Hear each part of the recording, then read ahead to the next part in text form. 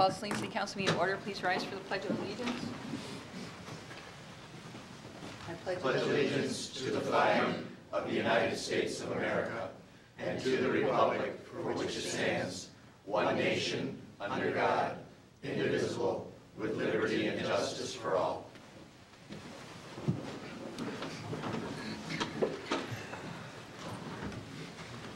We have a few changes to the agenda tonight.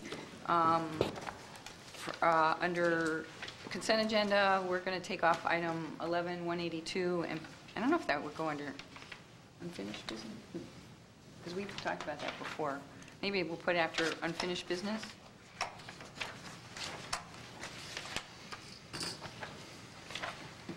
Um, And then we got an email, or some, we had some communications today with the applicant for the special land use at the BP station, and they are, um, at this point in time, withdrawing the special land use application um, until further notice. There's been a bit of a change with the franchise agreement, and they don't um, don't know really where it's going to go, so at this point in time, it's not, there's no point in hearing or discussing that issue. So we're going to take that off the agenda. And um, under unfinished business item 11136, there is a new first page to the um, ordinance number 735. I think everybody has the updated uh, verbiage on their desk. And um, I will be moving that in two separate motions, the actual acknowledging receipt and the motion to approve. So are there any other additions or changes to the agenda? Mr. Mayor, Beerbauer? I'd like to remove, since we're not consented, but C 1175. Okay. And then under discussion, I'd like to talk about payment of property taxes. Sorry? Payment of property taxes and proposals. Under discussion. Under discussion.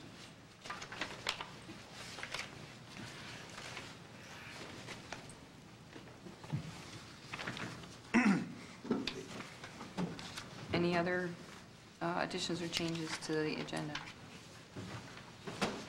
If not, do we have a motion to uh, approve the agenda as amended? So, so moved. Move Morrow, do we have a second? I support. Support Roth. All in favor, say aye. Aye. Opposed, motion carries. We have no absences this evening. Citizen comment on agenda items under the Open Meetings Act. Any citizen may come forward at this time and make comment or question on items that appear on this agenda. Comments will be limited to three minutes per person. Anyone who'd like to speak is requested but not required required to state his or her name and address for the record.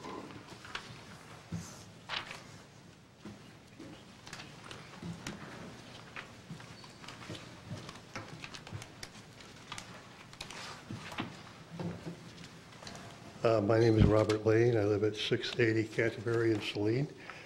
Uh, I want to comment on the uh, rules and regulations of Oakwood Cemetery that are going to be changed or or voted on. Um, I'm on the Cemetery Board of Appeals, and I voted against these changes uh, when it came up for a vote on our uh, board meeting about a couple of weeks ago. I found a problem with uh, page 14 of your handout, where it states that, um, what perpetual care means. I found that, um, that if these regulations are followed on page 14, that uh, there will be no care for the cemetery, no funds provided.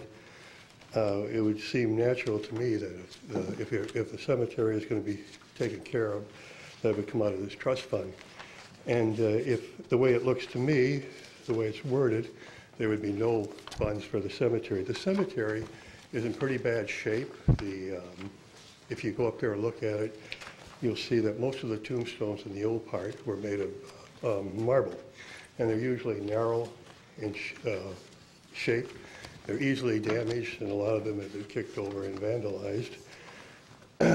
Um, When I uh, looked in the records, I found on uh, 1924, the, um, this uh, perpetual care, um, whatever was passed, back then, and uh, they did it to ensure the care of the old cemetery. That was the main reason for it. And um, so wh- what I'm concerned about is that if we allow this to pass without providing some sort of funds for the cemetery, that it's going to be like it was abandoned. And all we're going to be doing is cutting the grass in the cemetery. So I would urge you, if you uh, pass this or vote for it, that you provide some sort of funding uh, for the care of the older part of the cemetery. Okay, thank you.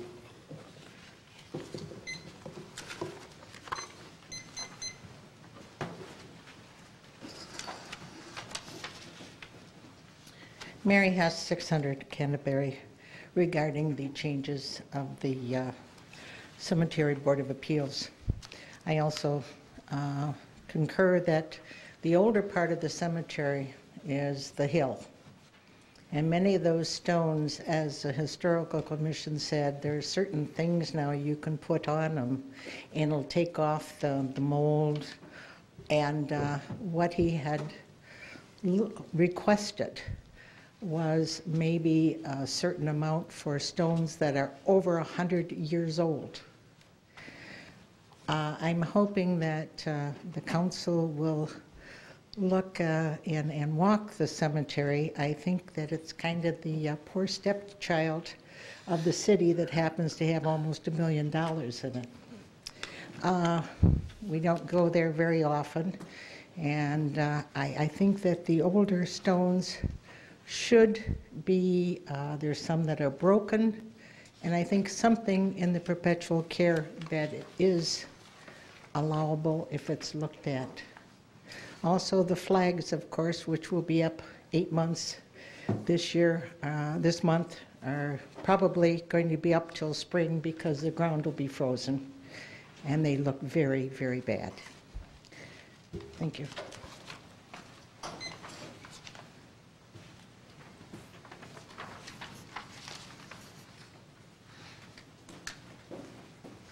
Is there any further comments?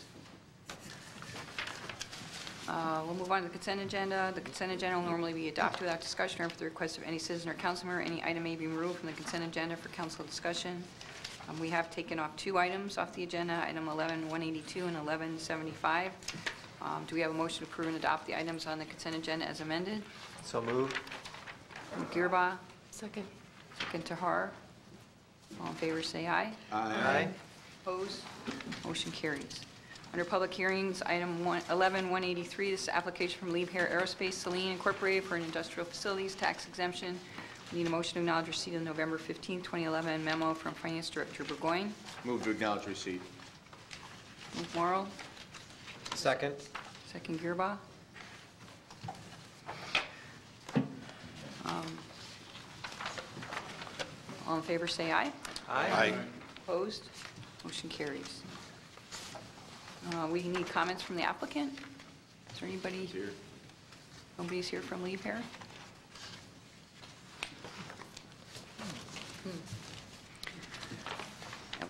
Were they noticed, Mr. Burgoyne, to come tonight? Do you know? I did not specifically call them, but they received a public notice. Okay. At at the special projects uh, meeting, they said they would come, and they knew that it was tonight. Maybe, maybe they're just delayed. Okay, well, the applicant's not here, so we'll move on to um, opening the public hearing. We have a motion to open the public hearing, affording the public, the applicant, all taxing units and an opportunity to be heard. So moved. Move Gearby, do we have a second? Second. Second, Peters. All in favor, say aye. Aye. Opposed? Motion carries. Public hearing is now open. Is there anyone that would like to speak to this issue? Move to close the public hearing. Second. Morales, second, Hard to close the public hearing. All in favor, say aye. Aye. Opposed? Motion carries. Public hearing is now closed.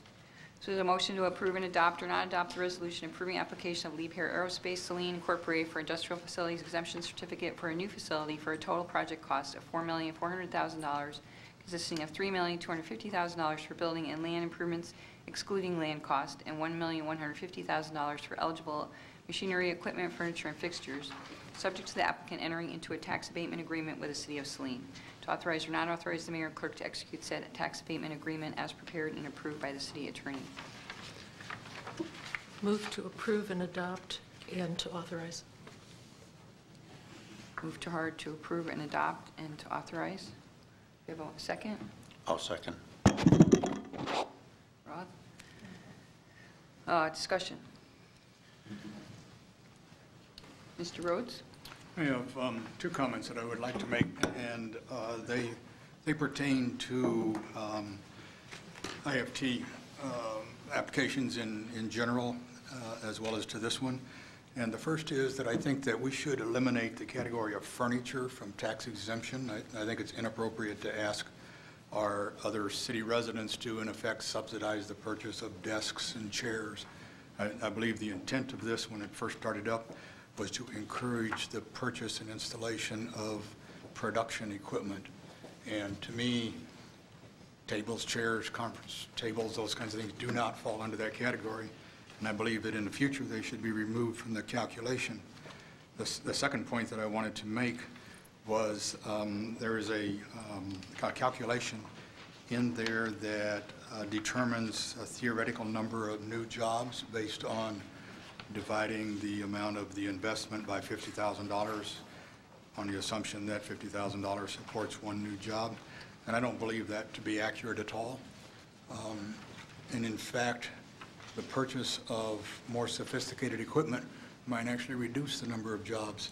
So I would like to see that calculation removed from the application, and instead an application, uh, a statement by the applicant that says that they're, they intend to generate X number of new jobs based on this investment and the period of time that they intend to do that by. So those are my two comments. Thank you. Thank you. Madam Mayor? Boyne, do you have a comment? Um, That uh, statement of the number of jobs and when they intend to do that is in the application, so that, that all, that information is there. That, that's from which we uh, do the calculation. That calculation, by the way, is only about one-tenth of the overall points generally, so um, that had been debated by uh, Special Projects Commission in the past. Um, In the past, that was up to 25 or 30 percent of jobs, and uh, in fact, um, we had a Michigan Jobs Commission and so forth, and there was a focus on jobs. And uh, it's true that as technology has moved forward, and for, from the point of view of the city, we get a great return on personal property, uh, machinery and equipment. So valuing uh, jobs where sometimes efficiency requires slightly fewer jobs seems counterintuitive. So that was a struggle for special projects to look at that, but I, I will bring that up to them. Again, I'll bring your points up to them. Okay, thank you. Mr. Roth? I agree with and concur with Mr. Rhodes in the same, same points. Looking at tax abatements, I always felt it's kind of an expense for the city and the people receiving the taxes for the tax abatements. In this particular case, if they have 15 new jobs, it's going to cost us in tax monies about $8,000 per job per year for the next 12 years. That's a big concession that we're doing, especially on furniture that's going to be probably written off in that amount of time, and things changed over the 12-year period. So I, I, I agree with him that we need to look at that particular form and the way we rate the points. I think 12 years is a very long period of time likewise. I- I I guess my comments, and I I think Mr. Burgoyne has more to probably add, but a couple of points. The 15 jobs is actually the actual jobs they estimate, and it's a shame Mr., somebody isn't here from Liebherr. And this is their fourth expansion, I believe, Um, and a total of, I think, 33,000 square foot again, and they are intending on adding 15 jobs. So the valuation and the investment actually is a $4 million investment, which would, if you value the jobs at 50,000 per job, that's at 88 jobs. So to your, back to your point. But um, as far as the furniture and fixtures, that, the basis is because that's, they pay personal property tax on that. So we- basically, we're abating personal property tax.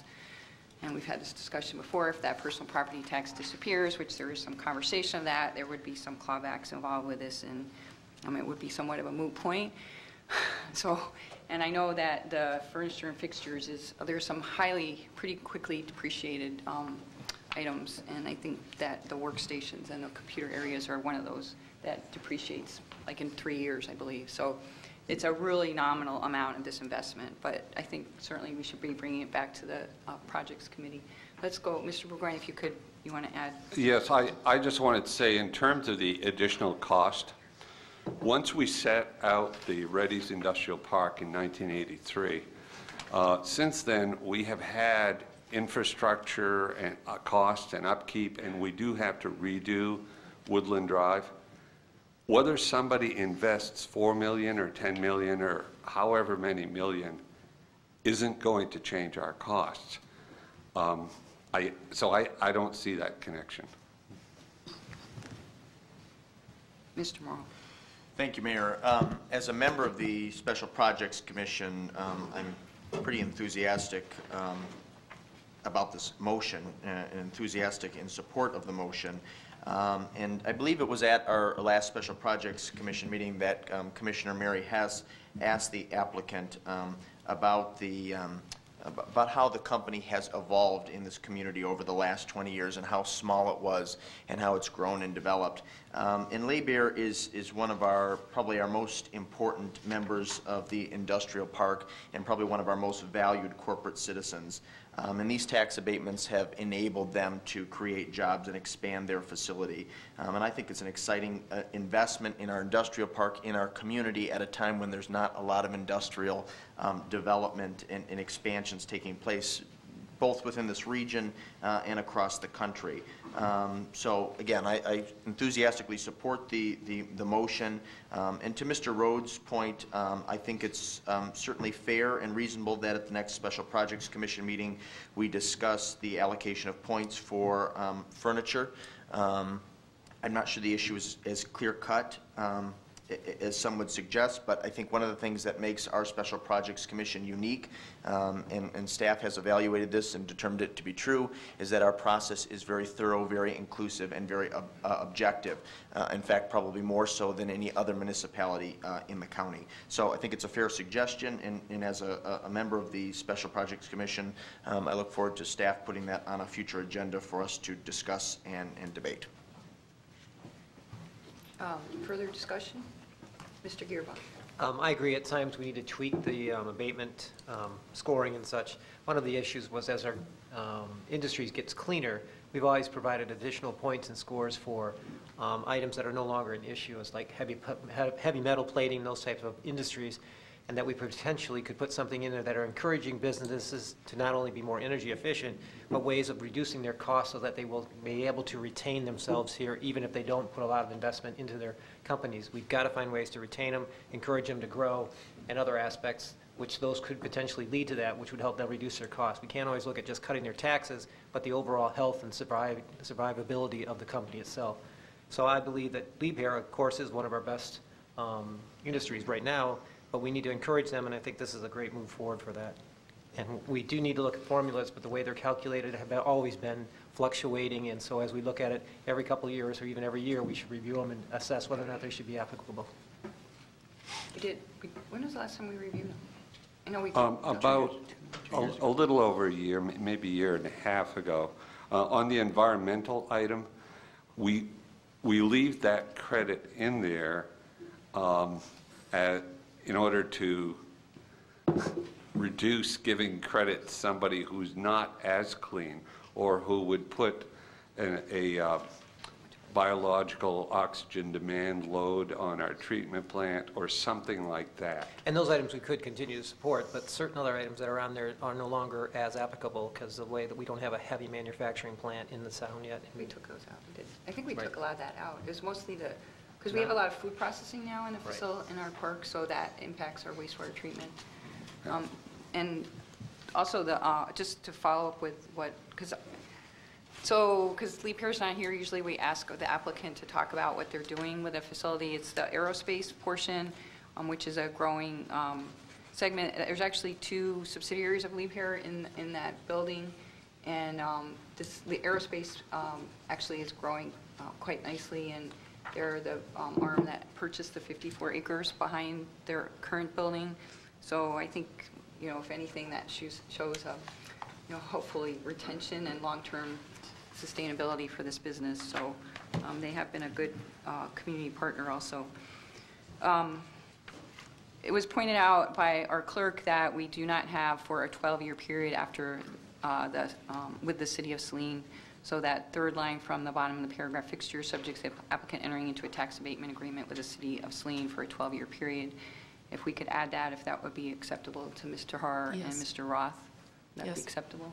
Yes. Okay. Um, Is there further discussion on the motion? Mr. Roth? I'd just like to make it, my point clear that I'm not really in favor of tax abatement statewide. I think it's probably, it's good for trying to attract industry, but we have to play the game in order to get the people here. And I want to say for Liebherr, I think, I think they're an excellent company. They've been here for many years, that this is, I'm not against any particular company. I want everybody to be fair, and I also like their, the other taxpayers to be fair, treated fair likewise, instead of general community pick up some losses, especially when money's hard. Okay, further discussion on the motion? Mr. Burgoyne? W- One more point. Uh, Some of you may not know, but uh, prior to deciding, uh, the German headquarters deciding to allow this to come to Saline, um, there was quite a competition with, I think, Laval, Quebec. Uh, And uh, without the tax abatement, we would not have gotten it. That's true, and Ann Arbor Spark and city staff, we went and did a big presentation, so it's been a while, but good point, Mr. Burgoyne. Um, I- Okay, I- I'm just against overall statewide, not, I think it's a very important Saline plays the game, otherwise we won't have, we'll be out. well, that, you know, Liebherr is a very large corporation, and they look um, globally for when they make an investment. Uh, We had tried to get another very significant investment from another subsidiary of Liebherr, and they ended up going to Mexico. Brought the governor in, that was a couple years ago, but, so um, they do have opportunities for growth, and they do look at Saline seriously, and I think they will continue. um, They were actually, all the Liebherr children, the third generation, were here for Peter Kozma's retirement in October, and um, we had dinner together, and I pitched them really hard. Only one of them hadn't been to Saline before, and she was very impressed, so hopefully they'll be thinking of us next time they do anything in North America. Um, So we have a motion on the floor. Is there any further discussion? If not, all in favor, say aye. Aye. Opposed? Motion carries. Um, We have taken 11184 off the agenda. And we're under unfinished business, item 11136. This is the ordinance number 735, solicitors and transient merchants. Would be a motion to acknowledge receipt of the uh, November 30th, 2011 memo from City Clerk Hill, and second reading of proposed amended ordinance number 735, an ordinance to repeal Article 2, peddlers, solicitors, and transient merchants of Chapter 22, businesses of the Saline City Code, and replace it with the following revised Article 2. Do we have a motion? Move to approve and adopt. Move Rhodes. Second? Second Gearba. Discussion. Ms. Hill, I think, wanted to talk a little bit about this. Um, Yes. um, Since this was last before you, staff, which was Detective Lupi and Deputy Clerk um, Jackie Lindomore, and myself, um, and Councilmember Rhodes have met at least four times and fine-tuned it even further, um, trying to make it more concise, um, easy to read, understandable. um, and that is what you have before you this evening, but I have a couple small changes. If you go to section 22-33, which is on page four of the ordinance itself, not the red line copy, prohibited activities, um, section one, two, three, four, and 5, um, where it specifically says solicitor, we would like it to read solicitor or transient merchant, so that it's clear that it relates to both of those categories. And then you also had before you this evening um, the change to page one of the actual ordinance, um, which defined what solicitor was. with that, I think it's ready for adoption unless there's any changes that council sees that they would like to make. Okay, so we have a motion on the floor, discussion. Mr. Morrow? Uh, Thank you, Mayor. Um, First of all, I would be remiss if I did not acknowledge um, our former colleague, uh, Mr. Law, who I believe was one of the individuals who initiated this, this review. Um, And so had it not been for his, his comments and suggestions, I'm, I'm not sure this process would have begun. So I want to thank him for that. Um, And I especially want to thank Mr. Rhodes and Detective Lupai and City Superintendent Rubel, Clerk Hill, and Deputy Clerk Linda Moore for their work on this. Um, I, I think this is a, a really nice addition to our ordinance. Um, As I had previously stated, and I think I offered a- an amendment or a motion to this effect, I would have liked to have seen um, the hours in section twenty-two thirty-four, um, hours of operations, um, changed and tweaked ever so slightly. I think I recommended a, a ten to six PM time period for solicitation, Monday through Saturday. Um, That was not a- a- adopted. Um, So that would be the only thing that, that I see as, as a little bit weak in this document. Um, But that's certainly not going to prevent me from voting to uh, approve the changes. And again, overall, I think it's a- a, a really outstanding um, addition to, to the language we currently have in our ordinance. Thank you. Mr. Peters? Just one quick, quick- two quick questions, actually. Uh, I see we still use the word canvasser, and uh, most every definition I've been able to find on canvassing is pertains to votes, uh, counting votes and obtaining votes. Is that something we still want to include as a definition of solicitor?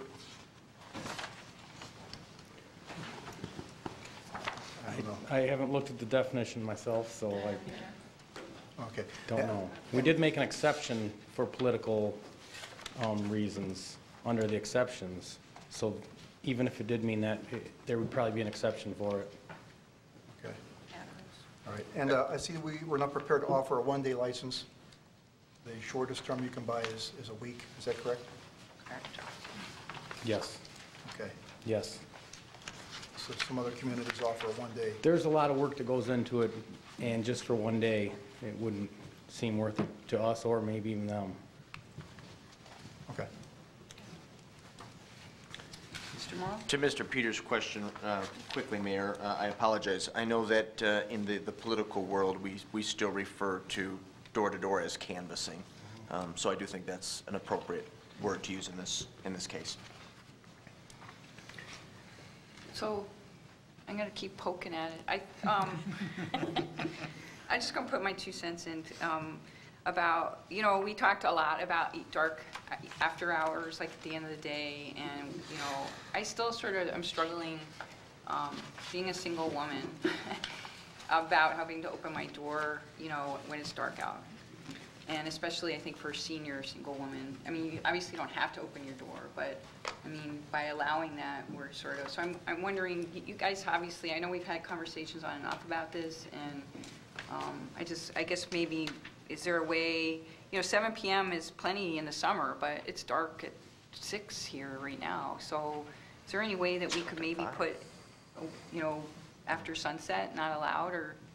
We I- I did just feel like that's sort of, it's really tough. We discussed dawn to dusk. Um, Actually, I had an outside conversation just tonight um, in related to, to the hunting rules. They say a half hour before sunset to a half hour after, or sunrise to a half hour after sunset. Um, There's options like that, too. Um, That gets a little bit vague to people, so the time thing is, is more specific. And it would get confusing if we made summer hours, winter hours, and dates and times. So, yeah, we discussed all that, and, and I'm open to whatever everybody would I was thinking 7 PM, Monday through Saturday, um, or, uh, but put in there in the parentheses, but not after sunset. So, meaning, it would be 7 PM during the summer hours, but if it was the winter hours, it would have to be, because I know the hours, I mean, obviously, it's all, it's different Yeah, that's- depending on the that's time, but I- I don't know how the rest of Cal, I mean, I'm willing to vote for this, because I know staff has, we, I know we spent a ton of time on this, but it's still that sort of a, a little sticky thing for me that I think is really an issue for um, our residents. Mr. Campbell?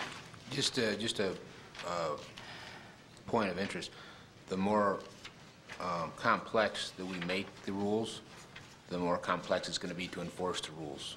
And more, and I'm, I'm not suggesting, I'm just putting it out there for, for your thought process for consideration, but the more detailed, I mean, and Detective Lupe, I can certainly speak to this as a law enforcement officer, the more detailed um, and, dare I say, convoluted a, a law or a rule, it's, it's that way on the, on the enforcement side as well. In, in, in some instances, so to get a- around, there's always a loophole, if you will. Mr. Campbell is very, very correct as far as that goes. However, in this case, um, I've said it also a couple times in our meetings, most of the time, the people that get the license aren't the ones causing the problems. So the, the, both those factors, what Mr. Campbell said, and that the people that are getting the license usually are the people going by the book. So with both of those being said, Mr. Rhodes? I'm open. We're open. Yeah, I was going to make a comment similar to um, Mr. Campbell's in that, um, in the many meetings that uh, staff let me sit in on and, and put up with me on, um, we, we talked a lot about trying to come up with a simplified rule that everybody would know exactly what it was and when it was and easier to enforce. And we did talk about uh, previously the earlier possibility, um, but then went to the later date recognizing that in today's economy, many homes are empty until 5:30 or 6 in the evening when both working, however many working people there are in that home, uh, get back. And we didn't want to unduly penalize those folks who are trying to make a, a living by following the rules and, and canvassing or soliciting door to door. So that's partly how we ended up with these, but, you know, there's, there, there's no, there's no real hard rule that says it's got to be this or it's got to be that. So uh, I, I feel fairly certain that the, the drafters of this proposed ordinance would uh, go along with whatever it is that council members decide they want to do. Mr. Morrow? Well, I- as I previously stated, I, at a previous meeting, offered uh, an amendment to, to adjust the, the um, duration of solicitation. Um, And so as it relates to your suggestions and comments, I would be amenable to offering an amendment. Um, My, the reason I hesitated in doing that was at the previous meeting, there was uh, a consensus that that was not appropriate and that was not ideal. So I'm happy to, to, to offer it, but if there's not a consensus or people disagree with that, that approach or that standard, I- you know, it's sort of futile.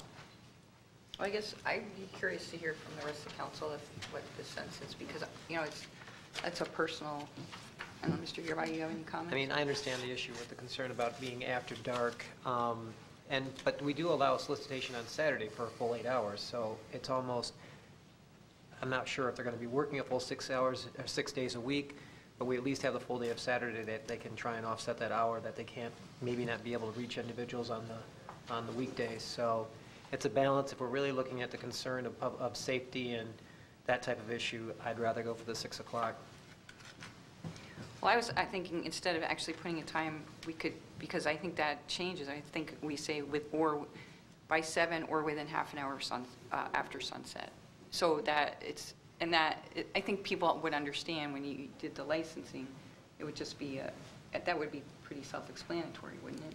I mean, You're saying after sunset, so that means in the summer they can solicit until 10? no, you No. say to- to- between 10 and 7 PM, Okay, Or, or within half an hour after sunset. okay. So, uh-huh. I'm- well, okay, that's a good point. So then would they read that as, It could conflict. Uh-huh. It'd be out till 10:30. well, you're, we're saying, Whichever is earlier. I guess could you have to say probably add on whichever is there. earlier.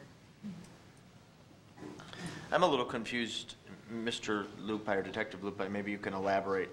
Why the half hour after sunset? It would seem to me that you would just say s- at Well, sunset. When, when the sun sets, it's still light out. Right. So it takes a half hour for it to get dark, basically. Okay. So you're giving them that little extra Yeah. window. And, and that was just a discussion I had because that's what the hunting rules Okay. state in the hunting laws, so. Well, that's, it also gives room for, some- if somebody doesn't really know exactly when sunset is. You know, I mean, It's this isn't dark. supposed to be to- totally, you restrictive and Sure. unreasonable. So I, I, I mean, I, while, I mean, I just put it out there, but if the rest of the council is fine with the way it's written, I could vote for this, but I just wanted to hear what, I know we talked about it before. Mr. Har? Thank you. Um, I, in general, I'm, I'm in favor of, of clear um, and simple rules that are easy to define, define and easy to understand. So I, I guess I would prefer not to go with something that added ambiguity. Um, And I think I, I agree with Mr. Gerba that um, possibly the Saturday hours would offset the loss of six to seven. Um, So I, I would be inclined to go in that, to, to change to 6 o'clock as a cutoff time instead of 7. Okay. Any further discussion?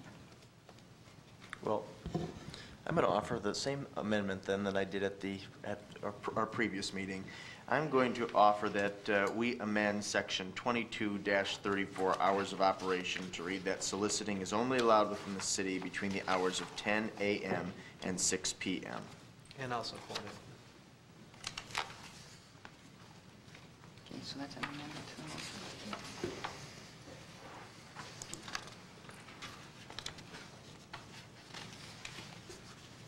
You have that?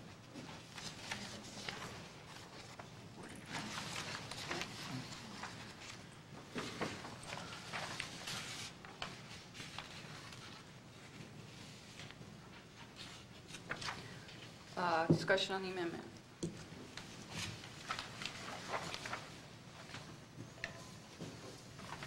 Okay, all in favor of the amendment to change it to 10 to 6 PM, 10 AM to 6 PM, say aye.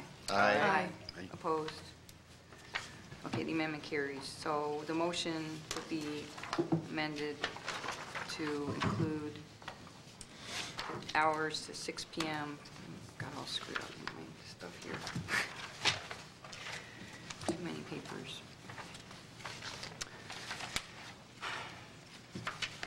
So we have two changes then to this current, that we be to add the transient merchants on those five, and then, and then the hours of operation change to 6 PM. Is that correct? Did everybody have that? It's actually just four. Just for number five, doesn't have. Oh, right, sorry. Okay, so um, we have a revised um, ordinance number 735. Everybody understands what the revisions are. Is there further discussion on the motion? So the motion right now is to um, acknowledge receipt. All in favor, say aye. Aye. Opposed? Motion carries. Um, So now we need a motion to approve and adopt or not adopt the revised ordinance number 735. Move to approve and adopt. Second. Well, Actually, my, uh, my, when I moved that motion, I included the words approve and adopt. Oh, you did? I did. But I did not include the part, the last part about the uh, fees. So, Because I just read the motion as a motion to just not receipt. right, that's why I just said what I did, because I did something different than what you just said. Okay, well, I didn't catch that, so, um, okay, well, we had an amendment to um, the ordinance, and the- amendment was approved, so that means that we would need a motion. So we had, I'll reread, the motion would have been to acknowledge receipt of um, the text through the ordinance number 735, replace it with a revised article number two, which we have subsequently revised, and to approve and adopt the ordinance as submitted, so, as revised, sorry.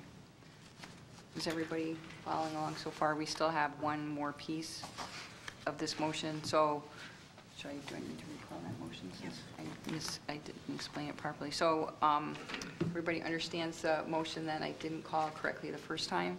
So this would be a motion to approve and adopt uh, um, said revised ordinance number 735. Um, All in favor, say aye. Aye. Opposed? Motion carries.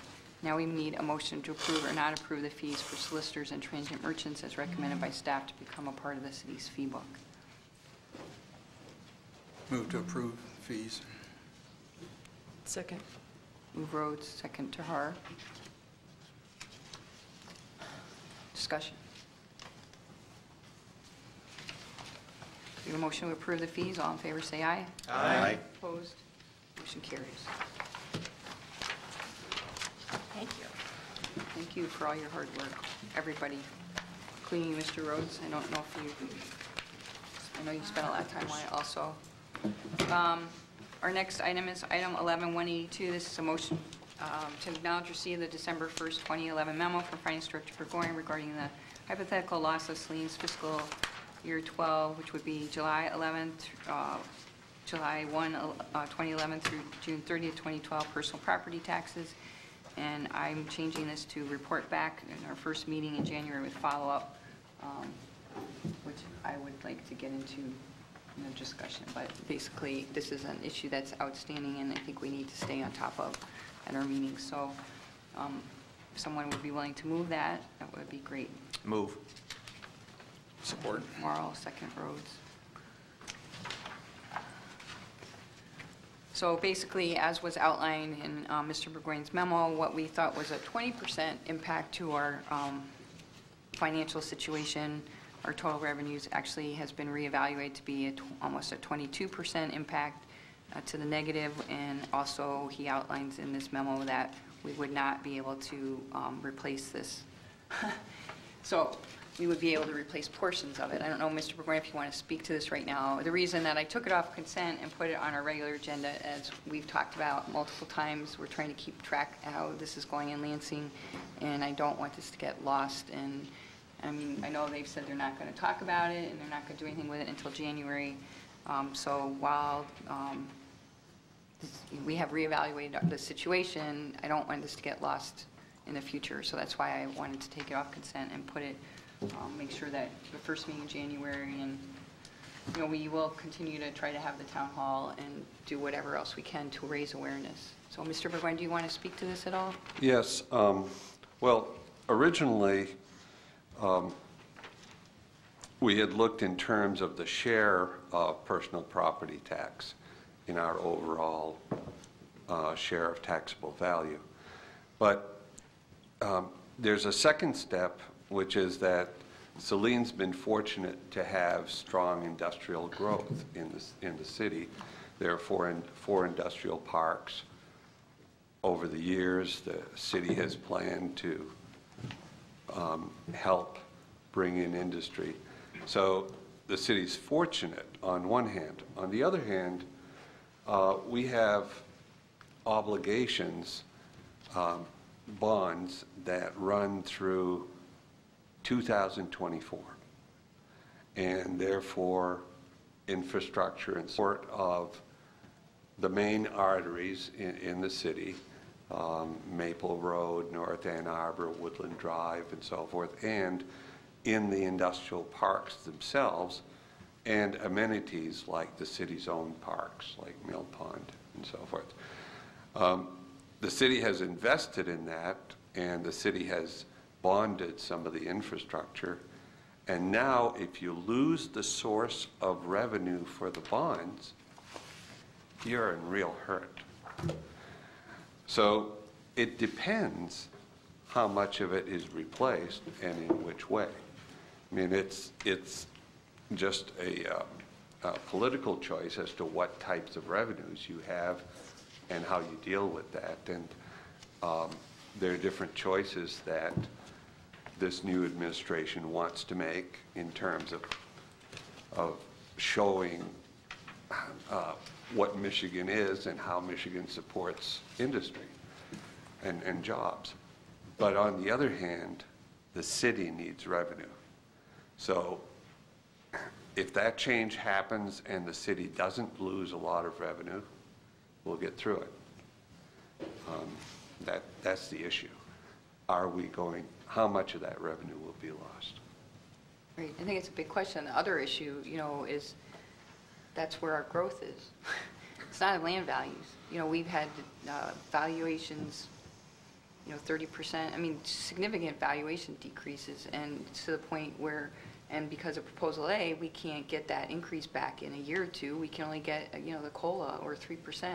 So we're never going to be able to recover through land values. The only way we can get any kind of growth in our revenues is from personal property. So Well- we're totally fried. Well, it's, it's not. Or the- if we sell it's not the. It's not the only way for future growth. I mean, in the future, we would want Class A buildings like medical centers or, you know, um, types of facilities that have a lot of real property facility to it and not much machinery. I mean, we and everybody else in this um, state would no longer be interested in industry with a whole bunch of machinery and equipment. So there would be a change in the, in the approach, I think. Well, okay. Is there any further discussion on this motion? So the plan would be to bring this back for um, further discussion the first meeting in January to keep on top of what's going on and maybe have, try to get that town hall, see where we stand after the holiday. Okay, so we have a motion and a support. All in favor, say aye. Aye. Opposed? Motion carries. And then our other item that came off consent is a motion to now receive the November 30th, 2011 memo from Finance Director Burgoyne regarding first amended fiscal year 12 EDC budget to approve and adopt the first amended fiscal year 12 EDC budget as submitted, excuse me. Um, I'll move. Second.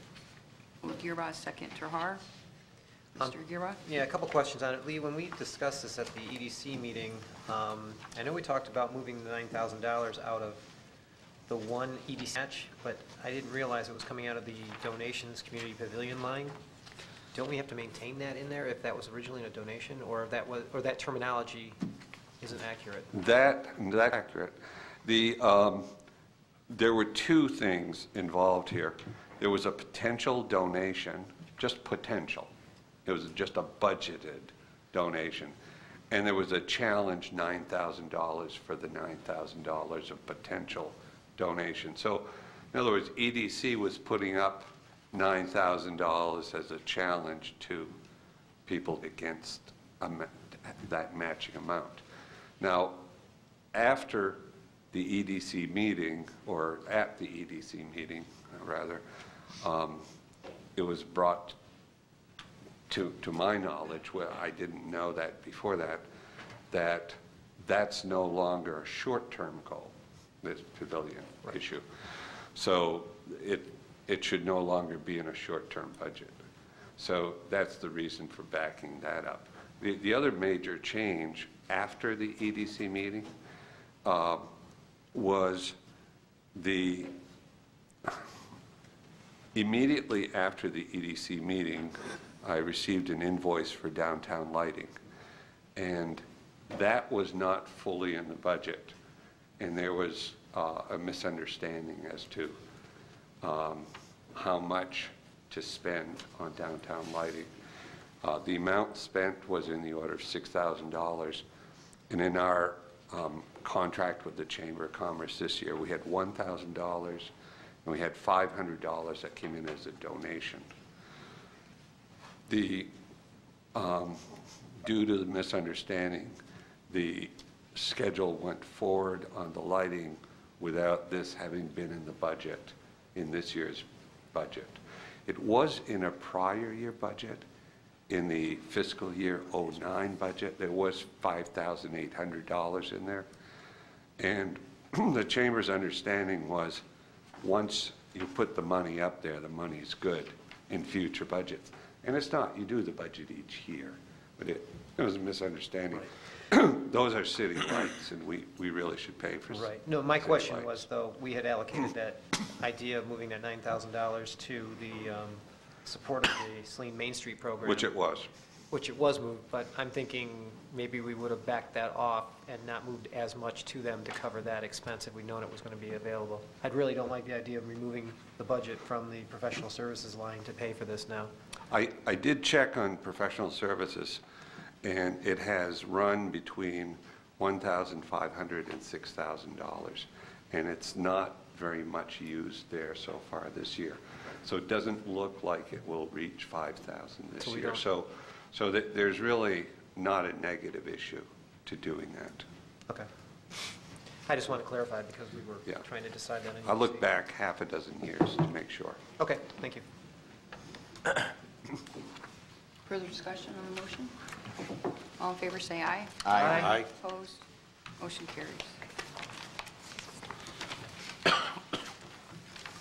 Uh, Under new business, item 11, 185, request for waiver of penalty and interest on utility bill Allegra. This is a motion to acknowledge receipt of the November 30th, 2011 memo from City Treasurer Bennett and the November 16th, 2011 letter from Allegra Print and Imaging to approve or deny the request of Allegra Print and Imaging for a waiver of the penalty and interest fees in the amount of $27.38 on their utility bill.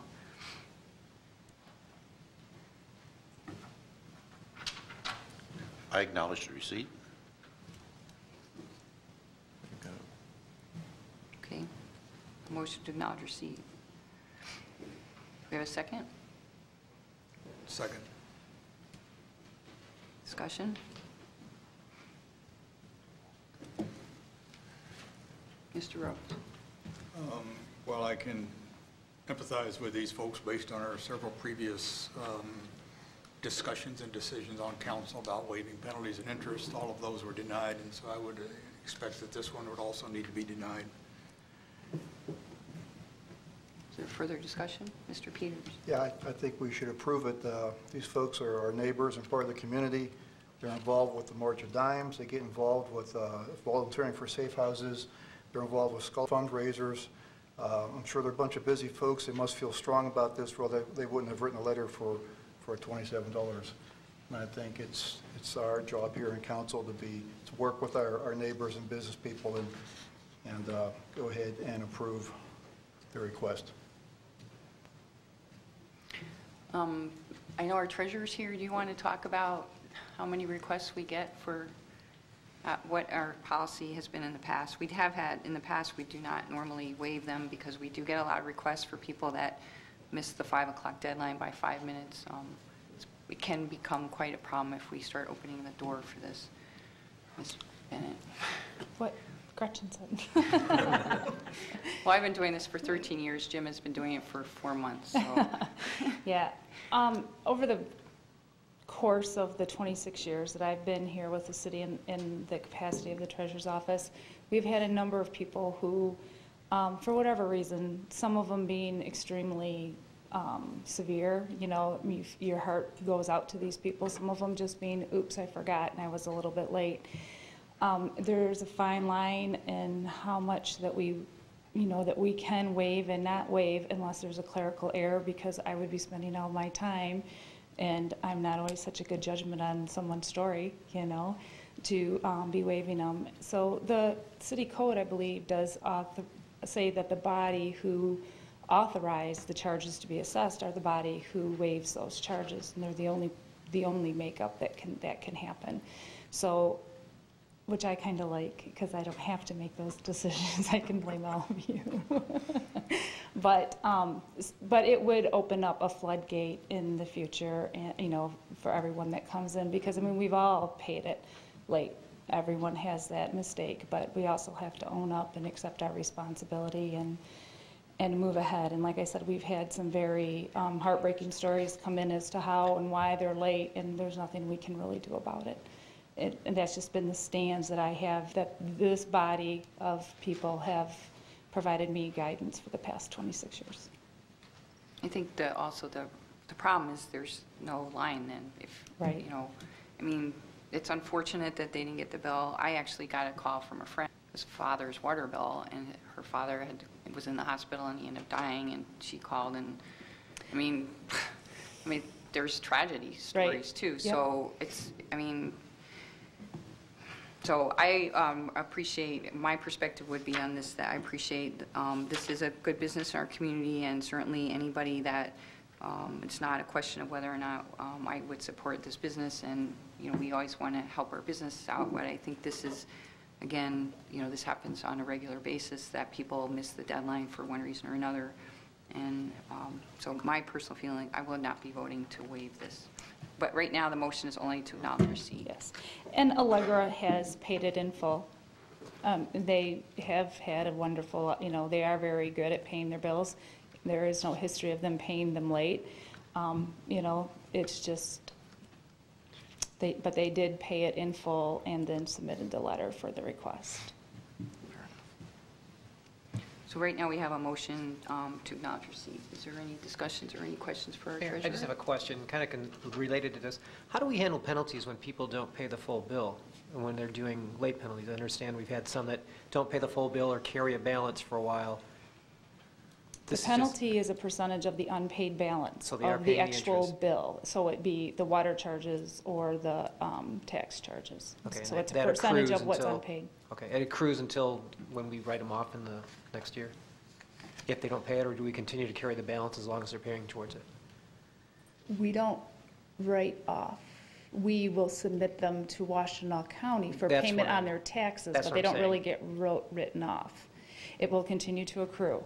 And then when it goes to the county, once a water bill goes past the um, June 1st, and we start submitting them to Washtenaw County, there's an additional $75 transfer fee that is added as an administrative fee to put that over to the county. Okay, thank you. Okay, is there any question, more questions for our treasurer? Thank you. Um, So right now, we have a motion to acknowledge receipt. Any further discussion on the motion to acknowledge receipt? Um, All in favor to acknowledge receipt, say aye. Aye. Aye. Opposed? Motion carries. Do we have a motion to approve or deny the request of Allegra Print and Imaging for waiver of the penalty and interest fees in the amount of $27.38 on their utility bill? I'll move to deny. Second. Discussion. I already said I will be voting to deny for the reasons that I outlined when we were talking about acknowledging receipt. And that it does not, I don't think anybody here on council wants our business, um, Allegra Print, to think that we don't support the business, so please don't misconstrue that, this denial. Um, Any further discussion on the motion? All in favor say, this is a motion to deny, all in favor say aye. Aye. Aye. Opposed? No. Motion carries. Item 11186, Saline Recreation Center Vending Services, the motion to acknowledge receipt of the November 16, 2011 memo from Parks and Recreation Director Scruggs regarding vending machine partnership with Saline Young Adult Program, to approve or not approve an agreement with Saline, between Saline Area Schools and the City of Saline for vending services at the Saline Recreation Center by the Saline Young Adult Progr- Program, with 25% commission to be paid to the Saline Recreation Center, and to authorize or not authorize the mayor and clerk to execute said agreement. Move to approve and authorize. Second. Move Rhodes, second Terhar. Discussion? No discussion? Mayor. Mr. Roth? I, in reviewing the materials, I need some clarification. It says one place 33% of their profits, and then he's saying that he can, if they barely break even. So I'm wondering if it's 33% of the sales rather than profits. Of if it's 33% of the profits, that means that he had twice as much as we've earned, and we, we made some money on it. So I think that's some miswording there, should be probably of sales. It's not making itself clear. And also on the contract that you have, I would like to see that it would be changed, updated to where it says beginning on September 17, 2010. Let's make it to the current date or whatever date you wish to have it. And then change, change, change it, the wording, and also have the, the signature that you have on, behind here far as administrative services, signed and dated to the current date that this contract's going to be agreement.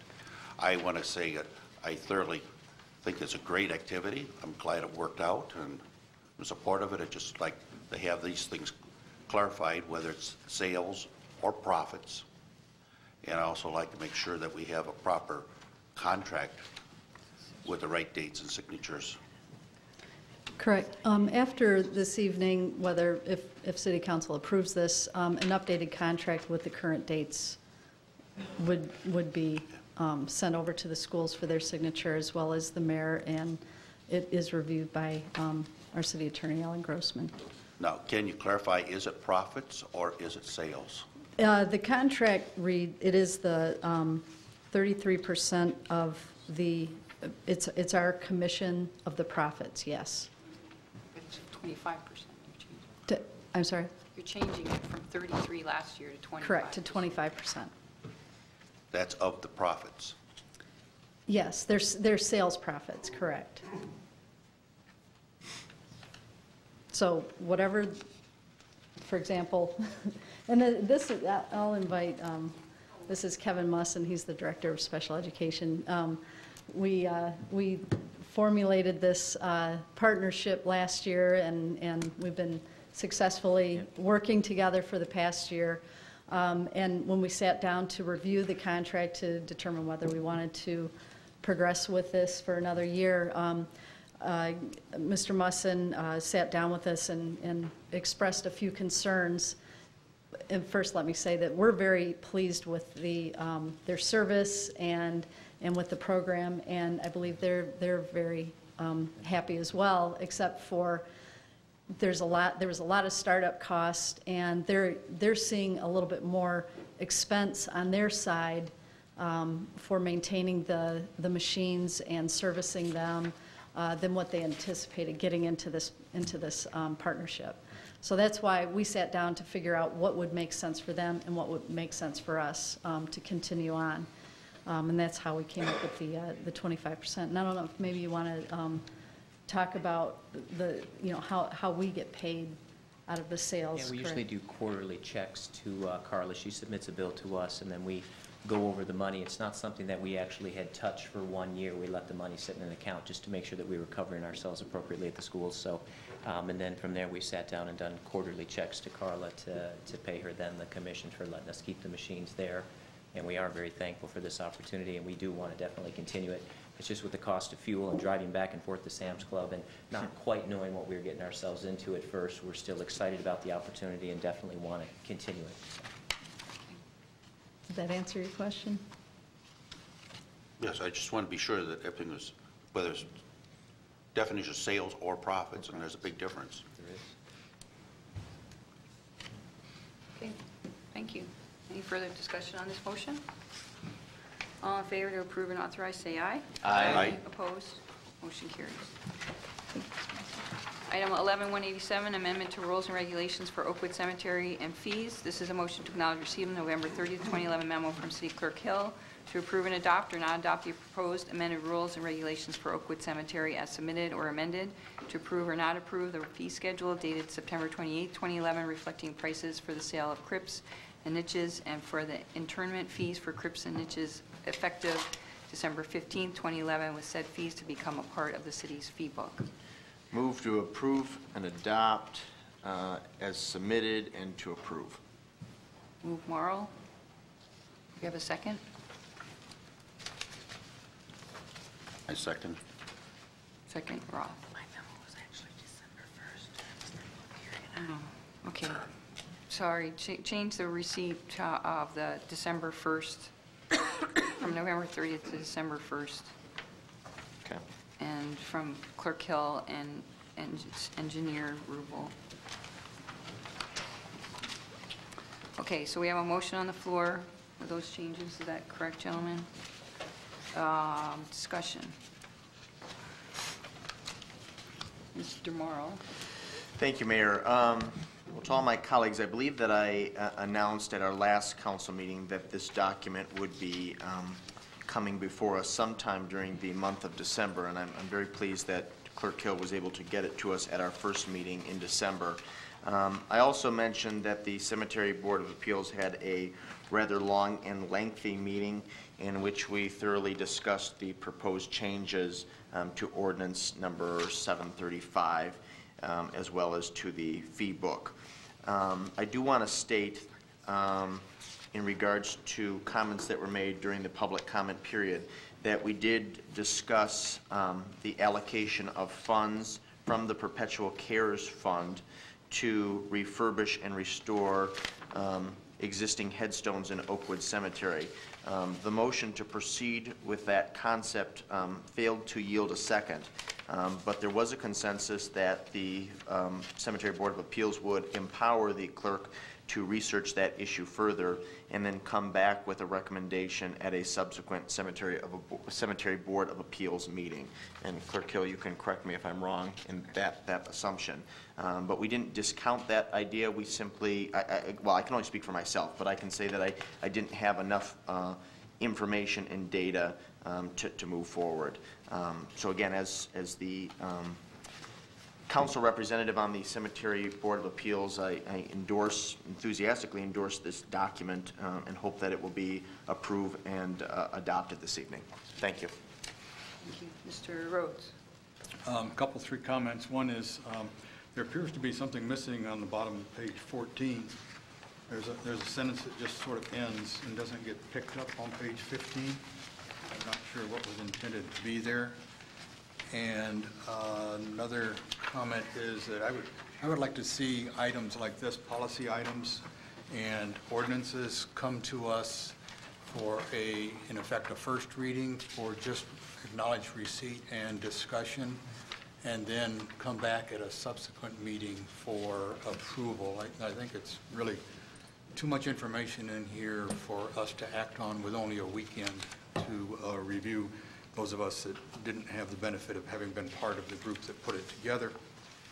And then my third and final comment is that with respect to uh, preservation of headstones in cemeteries, there are two, two approaches to that by uh, strike preservationists, cemetery preservationists. One is to leave things as they are, because that is in fact what they are.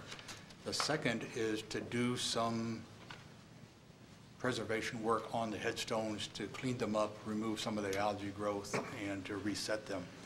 And there's no clear-cut answer to that. Depends uh, much on the feelings of the, of the local governing body and the, and the citizenry as to which approach is taken. And I know that in, for Oakwood Cemetery, we, we've decided a number of years ago not to do that.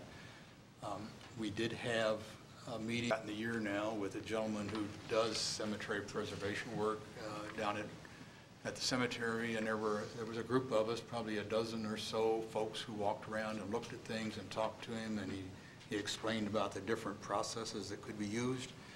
And there was some thought at that point in time about trying to put together, in effect, a Friends of Oakwood Cemetery group that would private money donations and grants to, uh, to do any restoration work that uh, was deemed necessary on the headstones.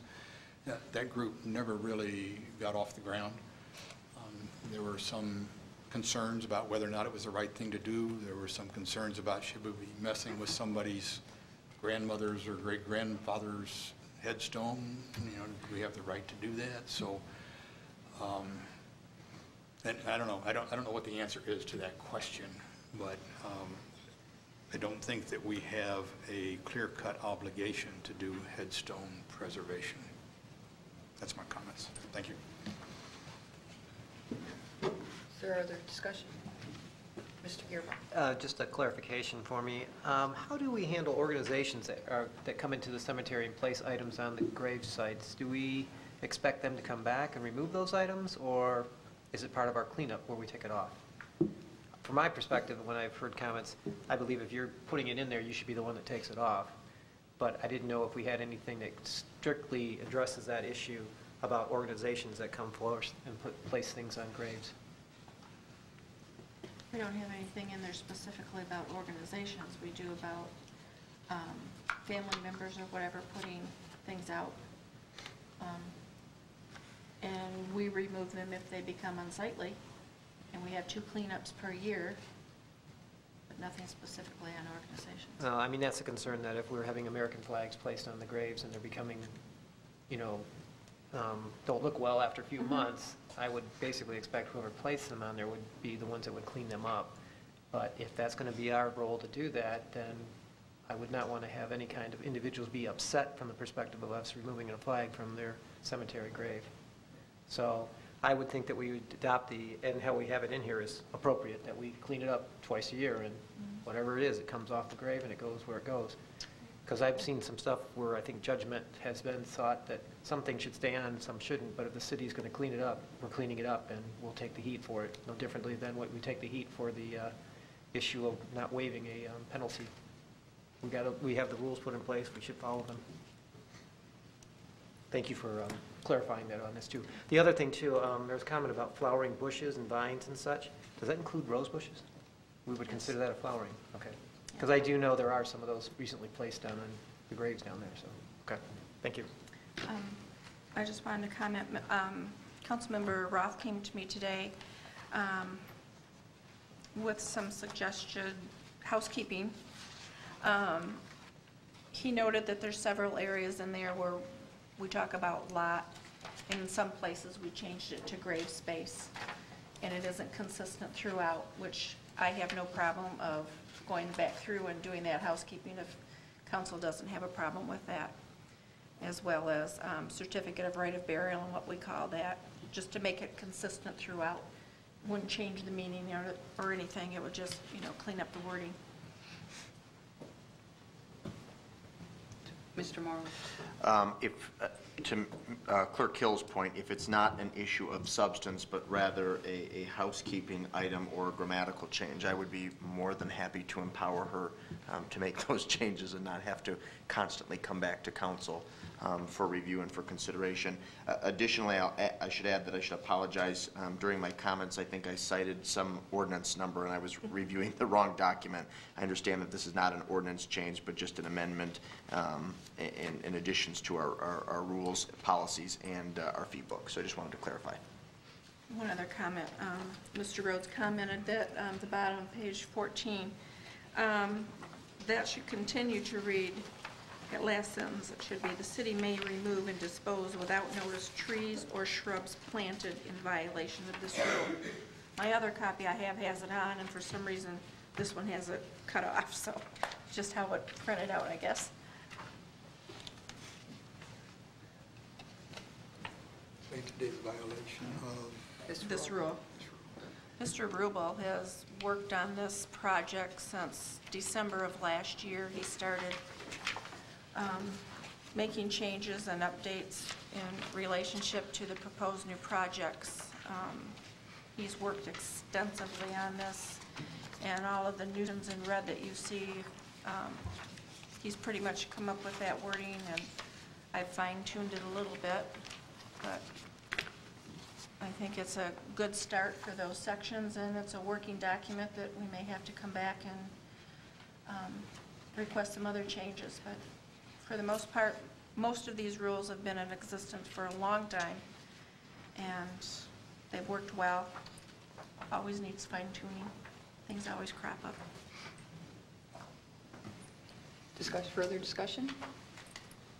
I'll just make a couple comments. I know I missed the last meeting, and um, there was some uh, discussion. First of all, I um, understand, Mr. Rhodes, your concern about this is a pretty lengthy document, but um, not a lot of change um, in substance to it, and except for, you know, we have changed the nature of the cemetery a bit and to accommodate that, but I think the intention, as stated at the beginning in the dedication section, that um, the purpose of these rules and regulations are to provide the public with a modern cemetery, burial space at a reasonable cost, and perpetual care and maintenance of the entire property um, was taken into account with the update and also Mr. Rubel's um, analysis and rate analysis to continue to ensure that the perpetual care fund is and actually continue to grow. And um, it seems to me, based on the financials and the rules and regulations, that um, looks really good considering a few years ago, we were talking about running out of space and what were we going to do. And so for the short term, you know, for the next few years, um, I think we're in good shape, and I'd like to uh, thank staff for the hard work, and I know the committee also worked really hard on this, too. Um, I have walked the cemetery. I do actually, maybe I'm sort of weird that way, but I'm a walker and I like history. And um, my dad actually lives really near a cemetery that has lots from 1700, a very old cemetery, and um, it's pretty well maintained, but it's maintained by volunteers.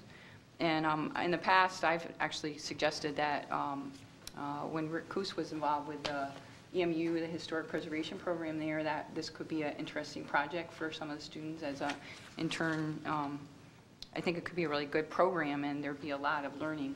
So, because I believe that the cemetery is on the National Register, and it does have historical significance to our region.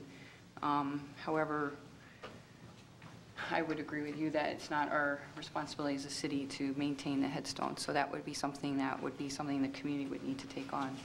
Um, I know there was some concern about, you know, the viability of the perpetual care fund, and I think that is well documented in the um, paperwork we have tonight. So um, I guess that's all I would have to say is thank you all for your hard work and um, appreciate um, the ongoing productivity of our cemetery. Sort of a unique thing to say. But, um, okay, so is there any other discussion on this motion?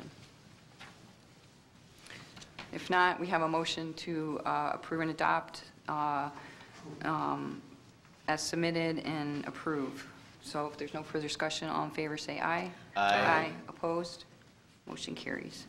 Under 11188, the biosolids hauling contract, this is a motion to acknowledge receipt of the November 22nd, 2011 memo from Superintendent Water Production and Pollution Control Skull to award a five-year contract to Synagro Midwest in the amount of $0.0317 per gallon with an annual increase of 2% plus fuel charge and a CPI annual increase to provide the city of Saline with its biosolids or sludge hauling and land application beginning January 1, 2012, to authorize or not authorize the mayor and clerk to execute the materials management agreement with Synagro Midwest after review and approval by the city attorney.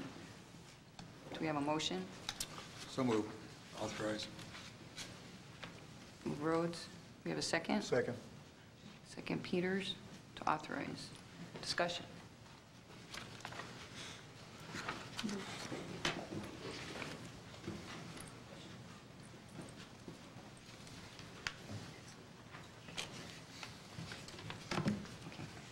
Um, Yeah, I just had a question about um, the relation, have we had a partnership with Synagro in the past? We did. Uh, Actually, we had them for about 10 years. With the last contract, they came in a little high, so we went with Biotech. Okay, that was my only question. Because I, I saw that you said that, and I know you had checked references and other, but I like the numbers. Just wanted to verify It's that. actually, both, uh, both bids came in considerably lower than we're paying now. It's very competitive. Great. Like to hear that. Save some money. Any questions for Mr. Skull? Thanks a lot for staying. Okay, uh, so n- there's no further discussion on this motion. All in favor to authorize, say aye. Aye. Opposed? Motion carries. Item 11, 189, council calendar for 2012. This a motion to acknowledge receipt of the November 30th, 2011 memo from City Clerk Hill to approve the council calendar on our meeting dates for 2012 as submitted or as amended. Moved. Go ahead, Mr. Girbach. Thank you.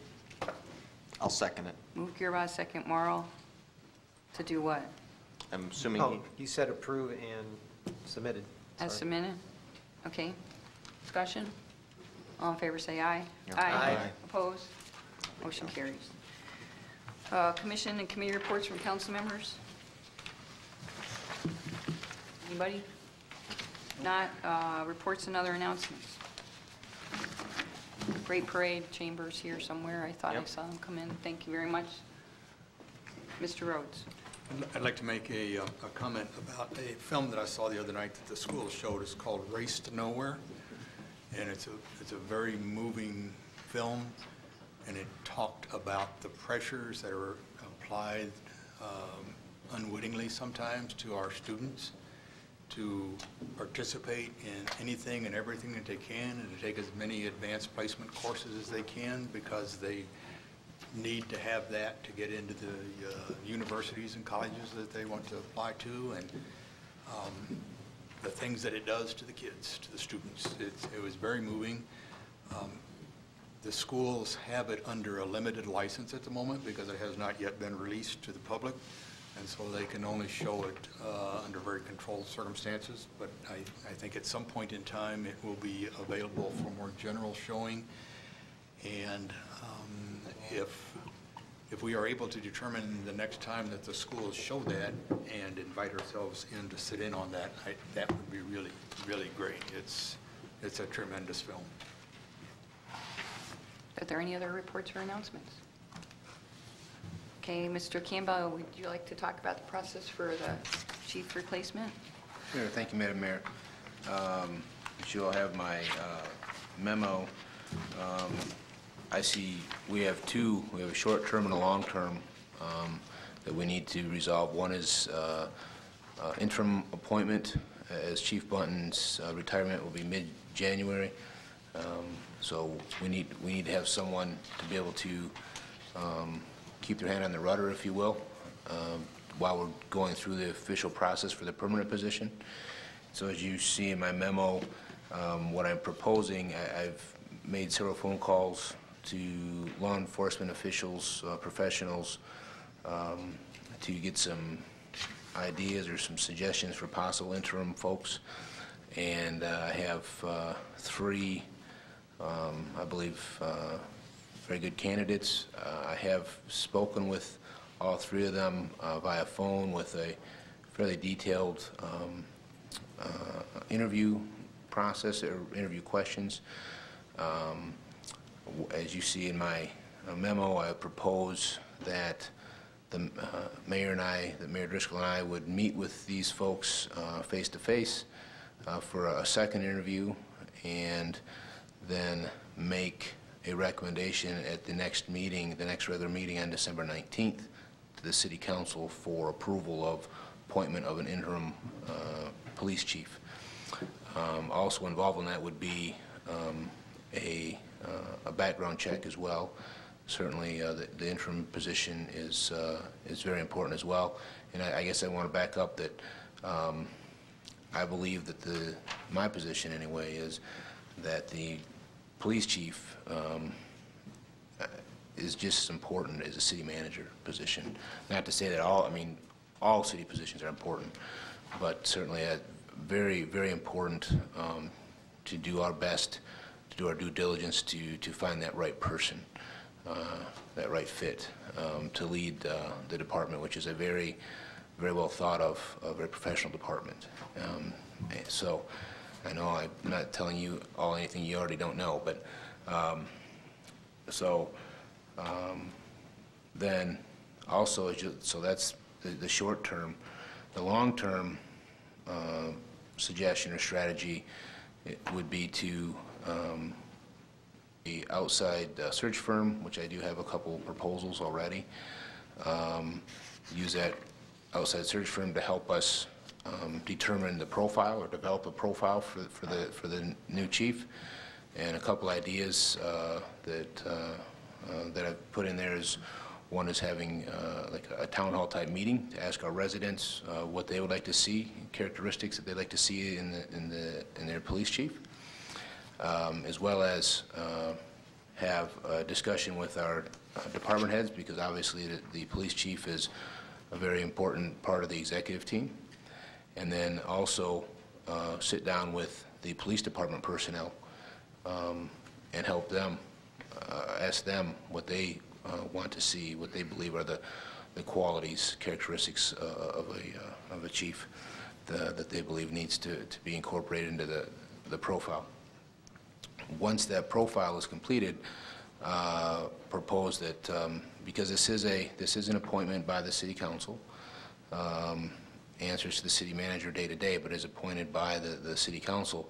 So I propose a, um, a committee or, you know, hiring committee, um, hiring task force, you choose the terminology, uh, which the membership would consist of one to three members of the council. Um, So we're not violating any um, quorum, any uh, open meetings uh, laws.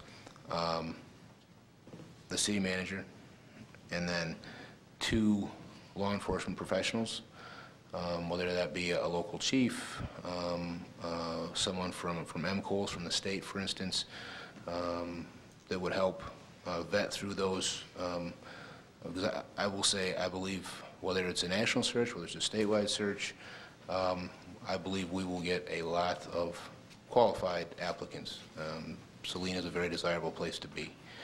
Um, So, um, but it's, again, it's, it's, uh, it's also a specialized position too. And so I think it's highly important that we have some law enforcement pro- professionals that, that have the experience, know, know the, uh, the questions and to be able to determine what's a good answer, or what's an average answer, what's a bad answer, whatever. Um, So then at that point, you know, my thought is probably to, to vet them down to probably, you know, eight or 12, and then have that, that um, committee, that hiring committee uh, perform um, oral boards, and then at that point, narrow it down to, say, the top two or three, present those top two or three to the overall council, for the overall council to interview, um, and then make that appointment. Um, Again, uh, even a more thorough background investigation uh, for that particular position. Um, I think probably uh, a good average, probably about, probably take about five or six months to go through this process. Um, I mean, in my perfect world, it'd be three or four, but I think we want to do it the right way, want to give ourselves time um, to do it right. Um, So that is, um, well, let me back up. So once we, um, if, if city council agrees uh, with my, prop- my proposed strategy, um, once we get, um, once we get the uh, interim in position, then we could evaluate the proposals of the search firms, possibly have a work session, that type of thing, um, whether it be all the the candidate uh, firms or just one or whatever, um, to, you know, to talk with them, see, and and make sure that um, you like what they're proposing, and then, um, then move forward. So that's, that's my strategy uh, being proposed to see if, if that's the direction that uh, uh, city council would like to, to see. The- My understanding was the interim would not be uh, candidate for the permanent position. That, thank you, Uh, that, that is my hope. Uh, That, that would be, um, again, I don't know, in my perfect world, yes, would, the person that is interim would not be interested, would not be considered for the, the permanent position.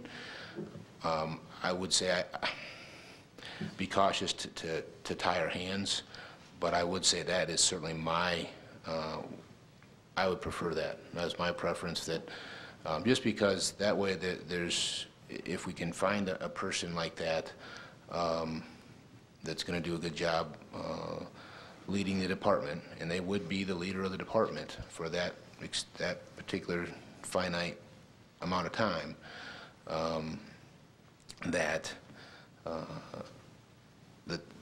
um, sorry, I'm- my head's going, you can imagine, as, as you all know, been, we've been working quite a lot on this, and, and so my head's about four steps ahead. Um, So, um, So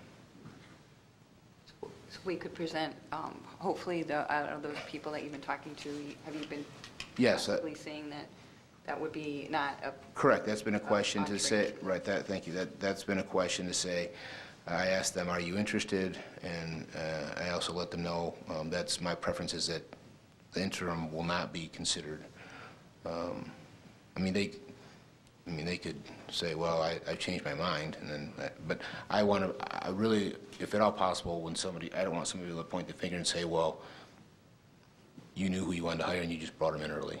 And I, that's, I mean, I want to do our utmost to be as transparent as possible, that uh, um, if somebody does make an allegation, you can say, well, here's the proof, this is how it all went down. I mean, I, I can tell you, uh, I've already received interest from folks, and I've said, thank you very much, process is not open yet. Um, When it is, you're welcome to submit, and we'll follow the process. But until then, you know, please hold on to your resumes, because the, you know, again, I don't want any thoughts or any allegations of impropriety, Um, so we want to, we want to do this right. Any questions for Mr. Campbell? Mr. Girbach? Just qu- question, you said that you had proposals from, or looking at proposals from executive search consultants. Will we be involving MML, at- MML at all, or Uh, recommendation? That's one of the proposals I have. Thanks, I just wanted, because they did work well with us before. Any questions for Mr. Campbell, comments, feedback? Is he on the Are right track? Yeah, are you looking for for consensus from us regarding whether your approach is the, the one that we would endorse? Yeah, that or a vehement, don't do that. So, No, I- Yes, yeah. So if- if you're in agreement with it, consensus would be great. Uh, I'm, I can speak for myself personally, I'm very much in, in favor of what you've recommended. I think you've put a lot of thought and time into it, and I applaud you for that. I think it's the approach that, that we should take. I also support that process. Mr. Roth? I likewise. Yes, also. Agree. Thank you very much. Thanks for your work on this. Okay, payment of property taxes, is that, Mr. Girbach, you had a... I just want a clarification, because um, I always thought that as we looked at proposals that came in from property developers or owners or such, when they start looking at items, that we always made sure and checked first that their property taxes were paid before we would proceed on any reviews or such. Um, I'm kind of wondering, clarifying on that, how a process of, well, actually, one that was on our agenda tonight, but isn't there, managed to proceed so far without being stopped. And I guess I need to have a clarification of that being reviewed again and how we handle that, or was this something that happened in the middle of the transaction? If I could have a clarification on that. Because that was always one of the first steps I thought was supposed to happen when we get a permit or a request or whatever to look at something, that they do not have outstanding property taxes. So I'm looking at policy for the city. Right, I would, I guess I would defer to, to Gary. Um, I know we did send that out, um, uh, but I, I'm not positive the exact timing that we sent that out to the different departments to review.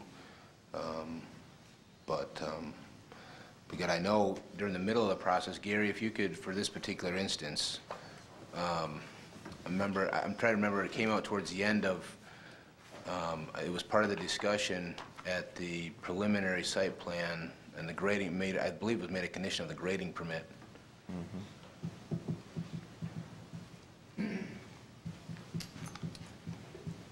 Well, I'd have, it, uh, the paperwork is not generated in the engineering department. I, I understand. It's at the application stage, so I, I can't answer to the process. Um, Although um, I received a copy just before the preliminary site plan was submitted to the uh, planning commission. So, I mean, it'd been in the process, but this, uh, there were a number of uh, quandaries with this project. If you're, if you were on the planning commission, you would No, I've been following understand it the quite the well. quandaries My they had concern- with. Actually, my concern was more of just the process of whether or not the property taxes were checked to make sure they were paid before Right, this right, proceeded. right. We shouldn't have put a lot of effort towards it had they not been done. Right. I guess I, I can't answer your question because I don't generate the, Okay, I just want the to make sure routing that slip for in the that. future, that policy occurs. Thank you. Mr. Girbach, if I may, as the, uh, one of the two council representatives to the Planning Commission, as it relates to the, the, the project that you specifically reference, I do know that when um, the applicant received initial site plan approval, one of the conditions, which was offered as an amendment, I believe, by Planning Commissioner Beardsley, was that um, the individual may proceed only after all back taxes and payments were made to the city. So that was added, that was inserted as a motion in this particular case. However, I don't, I certainly agree with you that that is something that we need to, to monitor and we need to be um, aggressive about, because it probably shouldn't have gotten to that point. However, you know, we did throw that caveat out, I guess. Because it's happened multiple times, and that's why I'm thinking we had a process put in place that I. I don't know if we have a formal policy. I, part, part of the pro, I mean, obviously, we- an approval It's is in our subject to, ordinances. it's in our ordinances? It's in our ordinance. I don't. I'm I'd have to have that checking. checked into We can again. look into it. Thank you. Um, That was part of the, you know, obviously, a con- uh, contingency on approval, and it was a contingency on the planning commission approval. It's sort of a way to tie, um, you know, development, but I think it's pretty clear there's a financial situation there, and the way to to resolve that is for them to improve their site. So, you know, you have, there's a process to get that to moving, be But moving there is an forward. expectation that most individuals will pay their taxes and not be in Right, it was- like I arrears. said, it was tied to, to the approval, and that is not why it was pulled off um, the Oh, I know agenda it's tonight. not. I The franchise for the Burger King is, doesn't seem to be of interest to the corporate office, so they're reevaluating that portion of the project. Mr. Rhodes? I, I was going to bring up a similar comment um, before that item was pulled off the agenda, but it, it seems to me that we ought to have a policy that before anyone, whenever anybody submits a request to the city that involves staff time, that the very first thing that ought to be checked is that all city obligations are current whether it's property taxes or personal property taxes or utility bills or anything else, I don't think we should provide services to someone who is not living up to their obligation to the city. I'm, you know, I'm in favor of business, but I'm in favor of responsible business people. We'll have staff look into that and get back. Okay, Mr. Campbell? Mr. Burgoyne? Um, I, I think there's also a distinction between discretionary things that the city does, such as um, waivers or tax abatements or things of that nature, and some governmental services that you may not be able to waive, that as a government you have to carry out. Now, I'm not sure legally on, on the basic government services how you can withhold that. We'll have to look into that. It's a good question. Okay, is there any other discussion items? Mr. Campbell? Thank you, Madam Mayor. I just wanted to give you an update on the, the speed limit. Oh, right. Um, Thank you. Lieutenant uh, Maggie, um, whom came to the last meeting um, and gave the report, um, he called me today as he said he would report back in two weeks, which he did. Um, And some of the comments, um, of course, again, he appreciated the opportunity to come and speak at the last meeting and appreciated the comments from, from residents and, and the council. And so the two, two areas of concern um, that, that he heard, um, one, of course, near Curtis Park where the lane drops um, merge. Um, And then also uh, from uh, Maple to Hopper, um, what they've said is that, that, that they agree with that not uh, changing those to the, uh, as far as the, um, all the way to 45. So what they've, I'm going to kind of run through from east to west, uh, what they're what, well, what they're, I mean, this is law, right? This is, this is how it's going to be done. Um, But at the same time, having said that, as he said, he says, hey, we, we want to be flexible, but the law is the law. Um, So, industrial to Hopper, uh, 50 miles per hour. Hopper to Kevling, 45 miles an hour. Kevling to Harris, 40 miles per hour. Harris to Lewis, maintain the 30 miles per hour. Lewis to River Oaks, 40 miles per hour. River Oaks to Austin, 45 miles per hour. As far as time frame, they liked, uh, they, they're pushing to have this uh, closed out by December, or prior to December 31st of 2011. And as far as when will signs go up, um, his response was it could be two days or two months. Just depends on, on, because MDOT has to issue the order and that type of thing, so. um, So that is, that is what information he's given me. And I told him that I would report back um, any comments uh, um, that the city council may have. Um, Mr. Rhodes? That's, that's some good news, and and I appreciate their, their working with us. Uh, The, uh, the last two segments, I was kind of running behind here, but did you say Lewis to River Oaks? was Yes, sir. 40? Yes, sir. And then River Oaks to Austin is 45? Yep. Right. Where is River Oaks? By Baker's Nook.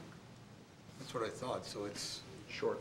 it's like 100 feet or something like that. the It's light. River Oaks to Austin. Seems foolish to me. Oh, well, okay. Okay. Any further discussion items?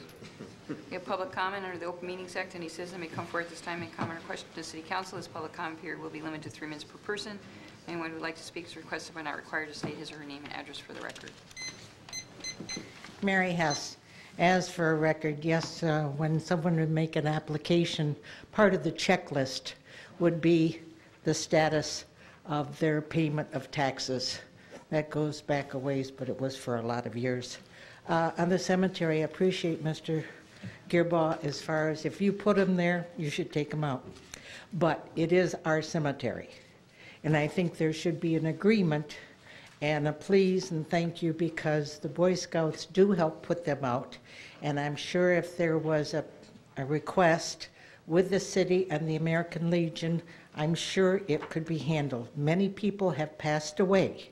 and they assume this has been handled. Uh, And I I definitely agree that uh, there's a plan that can work. And uh, uh, Mayor, as far as you're walking through the cemetery, I would be glad to take you into the mausoleum because it's leaking like a sieve, especially in the dungeon room. And uh, I'm hoping that maybe we could have a citizens committee because there's other things that uh, the shrubs, you know, that are about five feet tall to where you can't even see the speaker on Memorial Day. There's small things, but uh, they definitely need to have someone or something bring it to the attention. And it would be nice if there would be some type of citizens committee to kind of bring it to council's uh, attention. Thank you.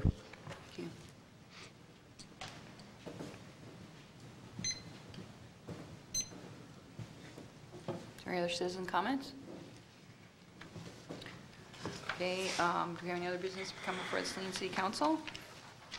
Not, um, we're going to be convening into a closed session to consider material exempt from discussion or disclosure by state or federal statute, in particular to discuss a confidential written legal opinion subject to attorney-client privilege. We need a motion for that. Move to convene into closed session. Second. Move Morrow, second Girbach. Roll call? Councilmember Girbach? Yes. Councilmember Rhodes? Yes.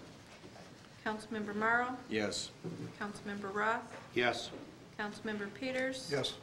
Councilmember Terhar? Yes. Mayor Driscoll? Yes. We convene to closed session at 9:15. Are we And we will Mayor? be reconvening. Okay. Okay, we need a mo- uh, motion to end the closed session and to reconvene into regular session at 10:15. So moved. Second. Move Morrow, second to her. All in favor, say aye. Aye. Opposed? Motion carries. And we have a motion to authorize the city attorney to proceed in accordance with the city attorney's confidential written legal opinion, subject to attorney-client privilege as given during the closed session earlier this evening. So moved. Move Rhodes, you have a second? Second. Second Girbach. Discussion? All in favor? Aye. Opposed? Motion carries. And we need a motion to adjourn at 10:16. So moved. Second. Move Morrow, second Girbach. All in favor, say aye. Aye. Opposed? Motion carries.